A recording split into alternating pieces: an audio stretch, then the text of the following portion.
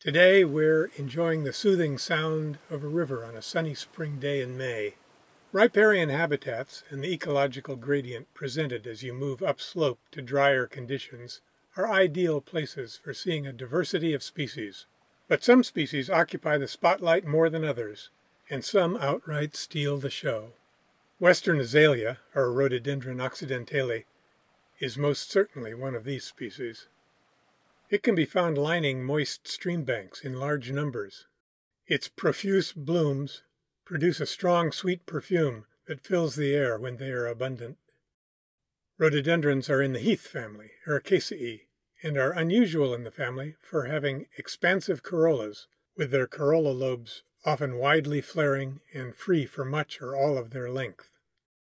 Worldwide, there are over 1,000 species of rhododendron that occur in the northern hemisphere and south to tropical Asia and Australia.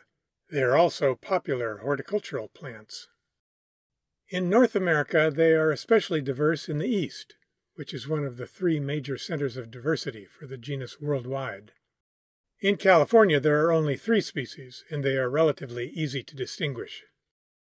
All of the species in the genus Rhododendron have a superior ovary, and many, including the Californian species, have conspicuous stamens that are well exserted from the corolla. They also have a persistent style that remains attached to the fruit as it develops. The fruits are septicidal capsules, dry fruits that separate into segments along lines of dehiscence that each run along a partition or septum that separates adjacent ovary chambers. Now that we know some of the features shared by species of rhododendron, let's look at the features that distinguish the three California species. Rhododendron columbianum, western Labrador tea, is a small shrub with evergreen leaves. It has the smallest flowers of the species in California. The petals are white to cream.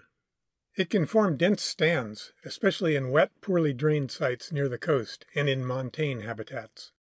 Rhododendron macrophyllum commonly known as California rhododendron, has evergreen leaves that are larger than those of either of the other two species. The petal color varies from white to pink to purple. It occurs in openings of conifer forests near the coast and in coastal mountains of Northern California from the Klamath Ranges to the San Francisco Bay Area. Rhododendron occidentale, the California azalea, has thin leaves that are deciduous and each spring there is a new flush of leaves from the tip of the branches. The flowers have a characteristic yellow to orange blotch at the base of the upper petal, and the amount of pink found in the flowers can vary between bushes. The flowers also have the same number of stamens as petals, unlike our other two species of rhododendron, which have twice as many stamens as petals. The California azalea is relatively common along streams and in other moist sites in the foothills and mountains of northern California, with occurrences as far south as Monterey Bay in the southern Sierra Nevada, then reappearing further south in the peninsular ranges of southwestern California.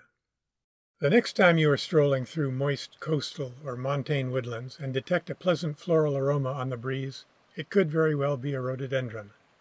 Stop and admire them in bloom. Thanks for watching and learning more about the genus Rhododendron. To learn more about other members of the Ericaceae, check out the Ericaceae playlist on our channel's website.